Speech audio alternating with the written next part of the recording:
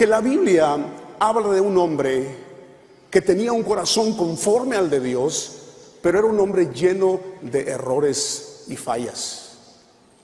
Era un hombre que anhelaba profundamente a Dios y estoy hablando de David.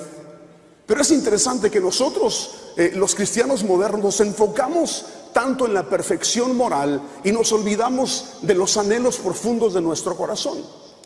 Cuando para Dios es más importante los anhelos de nuestro corazón que nuestra perfección moral, déjame, te lo digo de esta manera. Más que tu perfección moral, Dios está buscando tu corazón. Más que tu obediencia, Dios está buscando tu afecto. Eso es muy importante.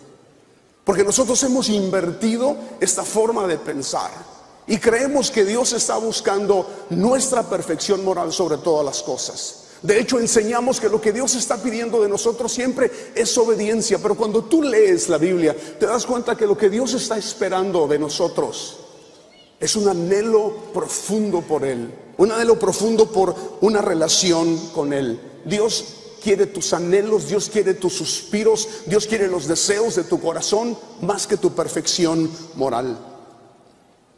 Por eso es que cuando a Jesús se le hizo la pregunta, creo yo, más importante que se le hizo cuando estuvo aquí en la tierra. Y la pregunta fue, Jesús, ¿en qué se resume toda la ley?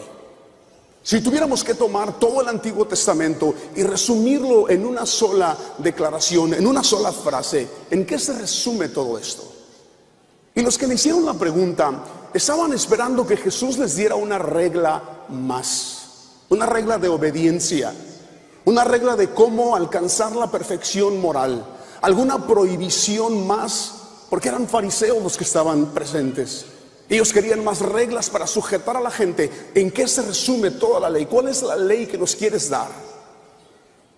Y Jesús responde y dice que todo se resume en amarás al Señor tu Dios con todo tu corazón, con toda tu mente, con toda tu alma, con todas tus fuerzas.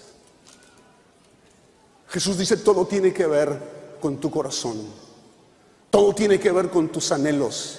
Eso es lo que Dios está buscando. Él no quiere poner reglas sobre ti, Él está buscando los anhelos de tu corazón, Él está buscando tu amor. Y tal vez la pregunta surge en la mente de algunos y, nos preguntemos entonces, ¿qué significa esto? ¿Que no son importantes las reglas? Por supuesto que lo son. Creo que fue San Juan de la Cruz el que dijo, ama a Dios y vive como quieras. Insinuando con esto que cuando Dios tiene nuestros anhelos, cuando Dios tiene nuestro corazón, la obediencia será el resultado natural de ese amor por Dios.